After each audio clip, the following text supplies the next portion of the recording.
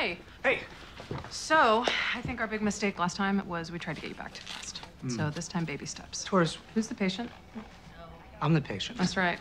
Now, this is the same muscle movement used with the Leksell Rongeur, basically the same motion as hitting a ping pong ball. So, that is what you're gonna do today. For how long?